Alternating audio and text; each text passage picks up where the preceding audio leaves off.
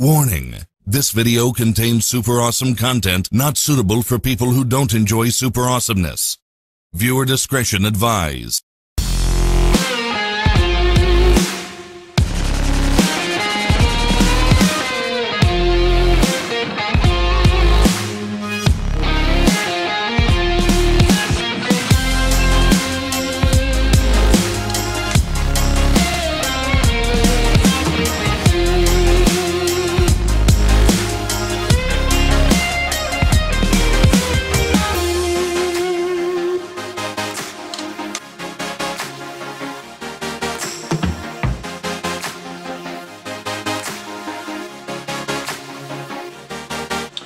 Hi, I'm um, Bradley with Blue Cord, and I've been asked by many who know me personally to make this video. Now, we're not a gun channel, but I appreciate and respect firearms.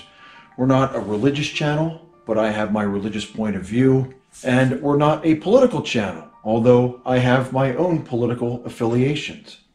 I don't care what you look like, where you come from, what God you worship, what political affiliation you have. We live in the United States. This is America. I respect your right to your own opinions. It's one of the things that makes this country so great. Unfortunately, not everybody agrees with that sentiment. You have a lot of people out there that'll dislike somebody else just because of any of those things, and it's not right. The only thing I care about is how you treat other human beings. You treat them with dignity and respect, and I expect nothing less in return. Now, this whole thing with Alec Baldwin is a horrific tragedy. I wasn't there. I don't know exactly what happened, and chances are neither do you. So everybody's going to establish some kind of opinion about this. It was a horrific, tragic accident that was easily preventable. This should never have happened. Before we get into the rest of this video, because I'm going to be doing some uh, demonstrations and some examples, I'm going to be showing you some blank cartridges versus live cartridges.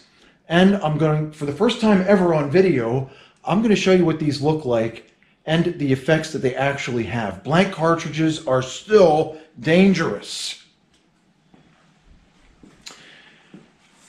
On a personal note, uh, a number of years ago, I was visiting the home of a friend that I respect greatly. I was in a room with a lot of other people that were also there that day, and they were passing around an antique firearm, an old, I believe it was a Colt, uh, chambered in 25 ACP, that's automatic Colt pistol, although other pistols can fire that cartridge too. They're passing around this little handgun and was telling everybody, don't worry, it's not loaded. Well, several people handled it before it got to me. And with my background, the first thing that I do when I get this thing after several other people have handled it is I drop the magazine. I take the magazine out. The magazine, for you non gun people, is a container with a spring that loads subsequent cartridges, which are bullets. They're not. We're going to go through some correct nomenclatures today. A cartridge is a bullet, but I never call them bullets. That's not what you call them. So a bullet is a cartridge. A round is a cartridge. The first thing I do is I drop the magazine, and to my surprise, which I really wasn't terribly surprised, there were cartridges, bullets, in the magazine. The magazine was fully loaded, and in that particular pistol, I think the magazine capacity holds six. So the next step is to physically inspect the chamber of the firearm. So that means you open up the action uh, in an automatic handgun, which means that it fires once every time you squeeze the trigger, as long as there's ammunition. I pull the slide back and I visually inspect the chamber where the cartridge would be if it were ready to fire. And son of a gun, if there wasn't a cartridge in there. I didn't show it at the time, but that really, that really shook me. Because here's a bunch of innocent people that are handling this firearm, and all it would have taken was a gentle squeeze of the trigger, and that would have fired. It could have easily maimed or killed someone. And in a pistol like that, it would have fired that cartridge and automatically chambered the next one until the trigger was squeezed again. I, I pointed it out immediately. I said, hey, this is actually loaded, guys. And I unloaded it and made it safe and continued to pass it around uh, after it had already been locked and cleared. But it's something I've never forgotten. That just, to this day, I just get a really strange feeling when I think about that. What if I had not been there? I don't know. I just don't know. But I'm glad nothing happened. I'm glad that I was there. And maybe I was there for a reason. Maybe I was there that day for that purpose. I don't know. I'll never know. I know you're here just to watch me blow some stuff up, but please bear with me just for a little bit longer. I have another very important, difficult story for me to tell, something very close and very personal to me. Three people very close to me were murdered in two separate incidents. I really think you need to hear this. I spent over 10 years in the infantry. I was activated and deployed several times.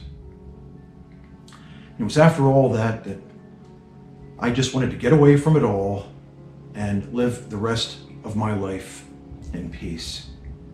So we moved to a very small community in northern Maine, a place where even most Mainers have never been. The day that we had all of our stuff moved up there in a 53 foot trailer, two good friends that we got to know when we moved up there stopped by to drop off a homemade dinner, some lasagna, and other things. Really wonderful people. Heidi was my wife's coworker, and Mike, who owned a garage in the nearby town of Houlton. One day we received a, an emergency bulletin that went across the radio and all television stations that there had just been a double homicide, there was a murderer on the loose, and for people to stay indoors and to be very careful. Well, a guy like me, I did not stay indoors. Uh, I grabbed my rifle and I started patrolling the 60 acres that we had, thinking that possibly this fugitive might be trying to hide. I'm glad it didn't turn out this way. I didn't find him. The state police did. And this was after he had already murdered two people, burned their house to the ground, stole their truck, drove to the nearby river, absconded with a canoe, and tried to escape, going downstream where he was eventually caught. It wasn't until later on that we found out that the two people that had been murdered in their home was Mike and Heidi. And here's the thing. Most people in northern Maine they are avid sportsmen. They know a lot about firearms. They own firearms. They use firearms. But most people are generally not as prepared as me. Once this home invader broke into their home, Mike and Heidi were defenseless. Mike act, Mike would had to have quickly run to get his firearm. Me, I don't have to run anywhere because I always have it just in case. But it's something that still gets to me to this day that our good friends in a very small northern Maine town were both murdered by a home invader. Didn't expect them to be there. He shot them both. Heidi didn't die right away. She managed to crawl to try to save her own life, hid behind a sofa, and then he burned the place to the ground. And that's how she died. So there are bad people in this world. I've seen a lot of it. So for you to think that nothing bad can ever happen to you is a nice thought, but it's not real. Another person close to me was brutally stabbed to death in his own backyard, my cousin Dennis. He was a decorated fighter pilot from Vietnam. After the Air Force, he pursued two master's degrees. He was a professor. Really neat guy. He was spending some time in his beautiful backyard that was adjacent to a river. He was out back with his little dog and someone walking the trail that was right along the river between his property and the river saw a target of opportunity. No one knows for sure exactly what happened, but my cousin was stabbed multiple times. His body left in the backyard in July. The murderer covered his body in brush, lived in his home for several days, and my cousin's dog, during the, the murder, during the stabbing, ran off in fear. One of the neighbors found her, brought her back to the house, knocked on the door, and this murderer answered the door and pretended to be my cousin. He was living in his house for three days while my cousin's body was out back.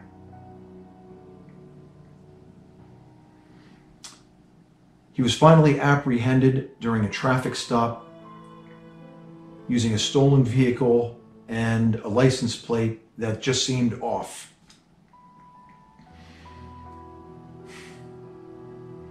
So here I am, all these years after I got out of the Army, and I wanted to put all of that violence behind me and live the rest of my life in peace. Three people very close to me were brutally murdered.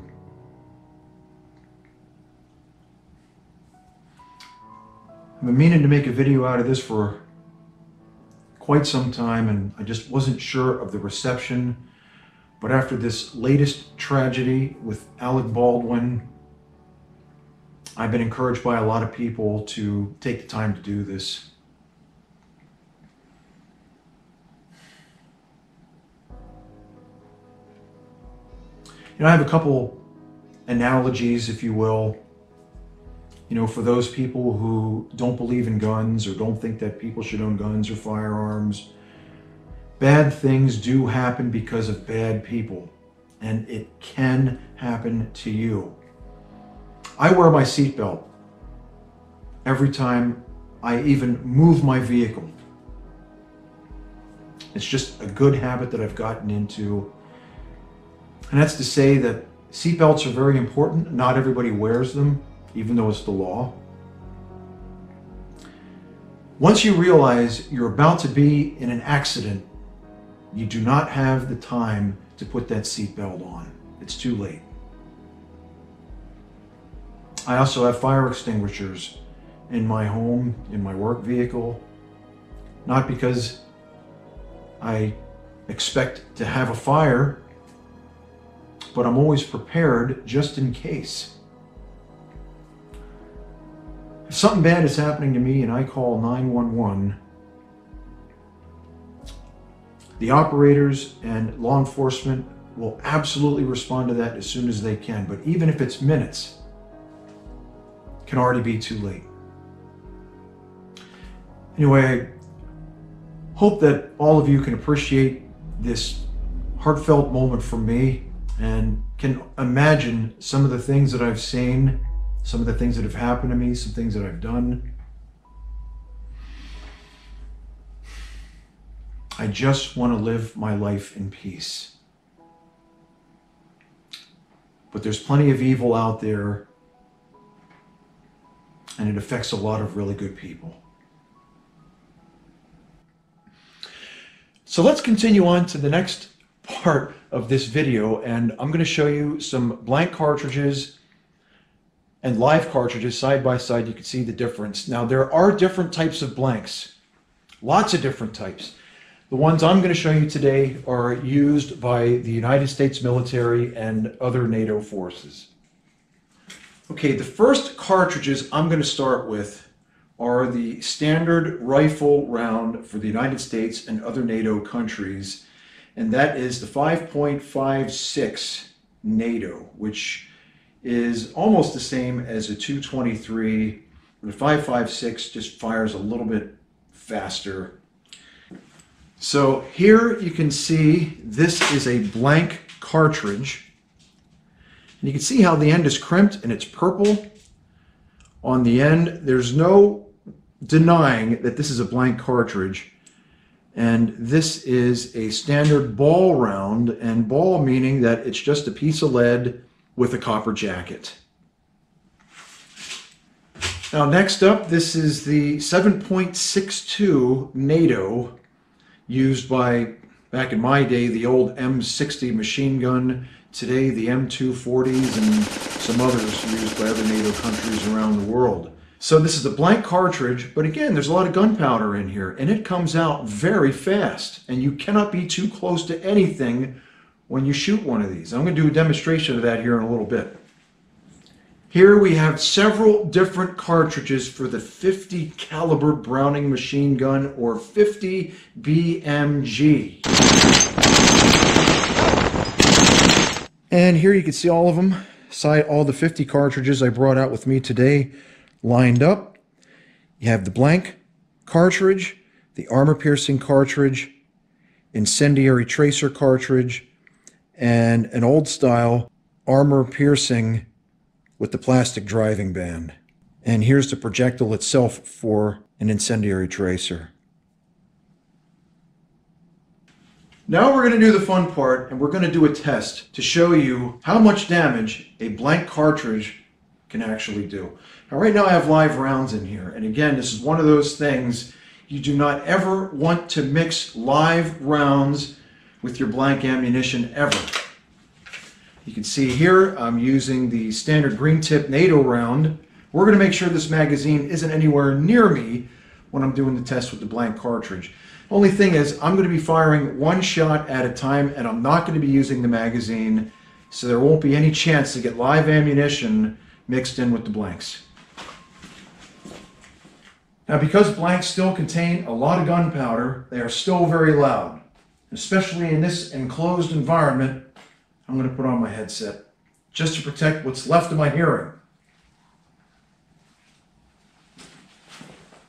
Now you can single load these. It's a bit of a pain, but it is possible to load this one shot at a time without the magazine.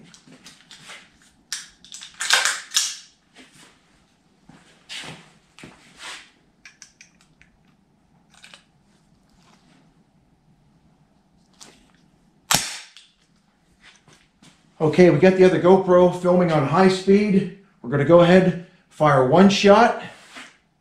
You'll see what it's going to do to the paper. In the Army, we had a rule. We were not allowed to engage targets with blanks within 15 feet because this gunpowder is coming out very, very fast and can cause serious harm, as you'll see here in a second.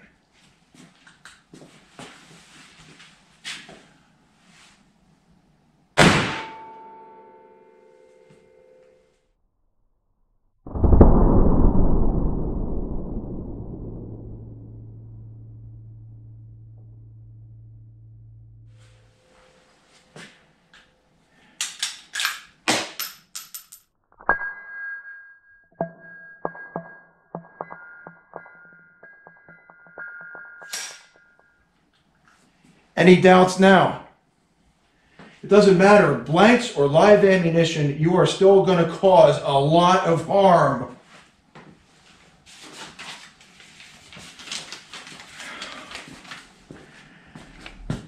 That's serious. I have a few other pieces of paper here. I have never done this test with more than just one piece of paper at a time. I'm going to do this again. I think I have like four or five sheets over there still. Let's do it one more time, see what we got. We have a few more sheets here. We have one, two, three, four, five, six, seven. So we have seven sheets here. We'll set this up and we'll see what happens.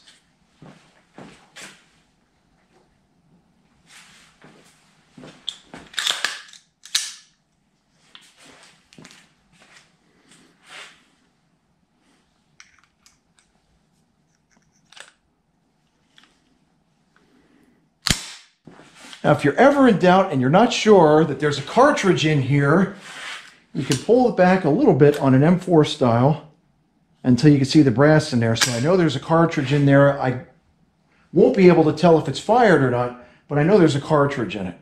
Since I just loaded this, I know we're ready to go. We're hot. We're going to see if this will punch through 7 from about 12 inches away.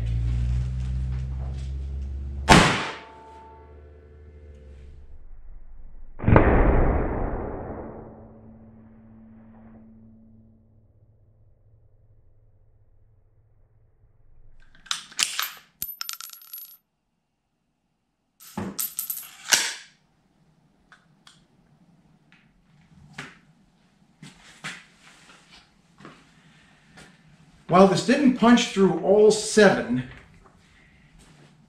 you can see the stippling here caused by the very high velocity gunpowder as it flies out the end at over 5,000 feet per second. And I'm not sure the exact expansion rate of this particular gunpowder, but it's fast. So let's take a look here. This is the first page. And you can see that pierced through the first page, went into the second page, went into the third page. And you can definitely see there's some very high velocity impacts here. And you can still see if the light is correct. You can still see the indentations on the paper, and this is page four. Page five, still indentations. Essentially, what happens is, and there are other tests on YouTube that show this, if your hand or skin is anywhere in the vicinity of that accelerating gunpowder, it's going to rip you open pretty badly. And depending on where you get hit, can cause serious injury or even death. I know some of you want me to talk about this thing. This is a pretty cool thing. I use this for uh, close-in defense for my home. This is manufactured by Diamondback in Florida. Yes, this is licensed. This is registered. I absolutely believe in the right of Americans and anybody in the world to protect themselves. If there is someone who's breaking into my home, they want to take what I have. I do not know what lengths they will go to to get what they want. I hope you all appreciate this video and my taking the time to share some very personal and very painful stories from my life. I'm not advocating firearms, but I do advocate a person's inalienable right to protect themselves and to any other aspect of their lives that they live as they see fit in the pursuit of their own happiness. Our forefathers, they were a brilliant bunch of good men. And as brilliant as they were, I don't believe could have foretold all of the advancements in technology that we've seen over the last 250 years. Social media, how news, pictures, video, opinions can instantly travel across the entire globe is something that no one could have foreseen back then. You know, social media does a lot of good, but it also does a lot of harm. A lot of opinions are spread, a lot of hate is spread. I love everybody. I treat everybody equally. Everybody, the first time I meet you, starts out on the same neutral plane, and depending on whether you go up or down, is entirely up to you. You treat me and others with dignity and respect, I reciprocate. I treat you with dignity and respect. I would I would just love to see everyone think that way and it's not a reality, unfortunately. That's the world we live in. There's a lot of great people, and unfortunately, there are a few bad ones. So, with that, I'll end it here. And again, thank you for joining us today, even on this somber topic. I do appreciate it. And uh, keep smiling. We've got lots of great new Ventrac videos and other things coming up here in the near future. So if you haven't already, please hit that like button because that helps our channel. Make sure you're a subscriber, hit that subscribe button. And if you want to be the first to know about any new videos that are coming out, hit the notifications bell. You'll be notified right away. Thanks again, and I'll see you next time.